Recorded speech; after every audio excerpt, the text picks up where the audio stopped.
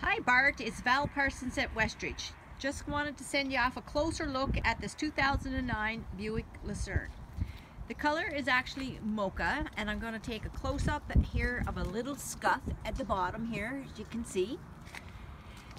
And let's just see what else is to show you here. Close-up of everything. I just want to make sure. So like they said, the tires are worn. They need to be uh, replaced. As you can, I don't know if you can see, but you should see from the glare that there's no hail damage there whatsoever. It's a gorgeous color car and it's got the light interior. I'm just gonna show you slowly. The rims are quite nice. And then I'll show you on this panel right here in the rear.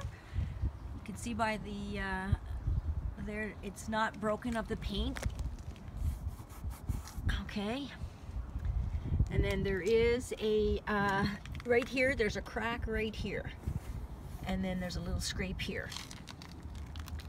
You can see it right around. And then there's a little bit again here little scrape right here.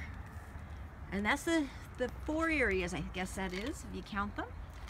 And there the sun is kind of giving us bad lighting here.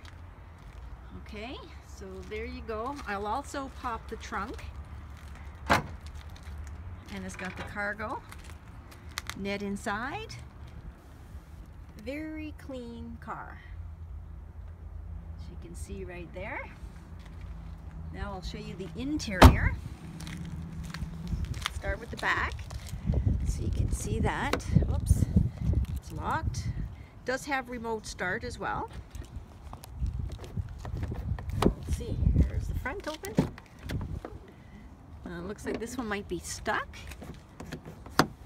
So let me do it here. Okay, so this one with the lock doesn't, uh, with the remote doesn't open, but with the lock in front it does. So here's the front.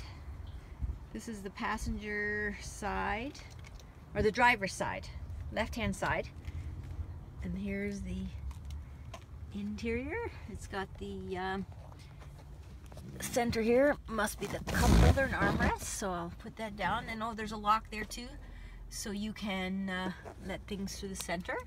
And there's the cup holder. You got the heater there.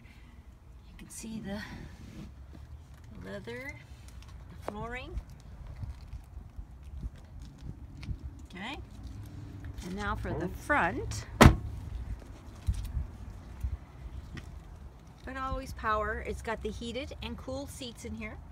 So you can see the buttons right there. Got the lumbar powered seats. And here's got the heated steering wheel, the lights.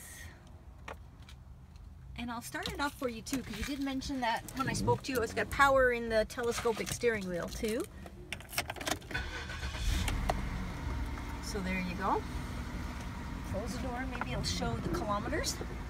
So it's 113,201. We have a nice day there today. It's uh, it's 11 degrees. And here's the center. Dual climate control. And right there.